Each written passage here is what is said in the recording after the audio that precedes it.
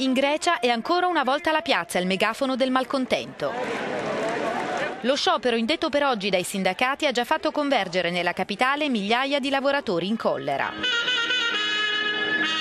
Chi protesta sa che l'annunciato taglio di 30.000 posti nel settore pubblico e la diminuzione del 20% dei salari non rimetterà i conti in ordine. Gli organizzatori si attendono una mobilitazione pari a quella del 2008 in piazza Sintagma.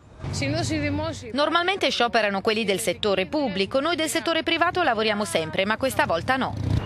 Dobbiamo riprenderci in mano le nostre vite e difendere il nostro diritto al lavoro, altrimenti come andremo avanti?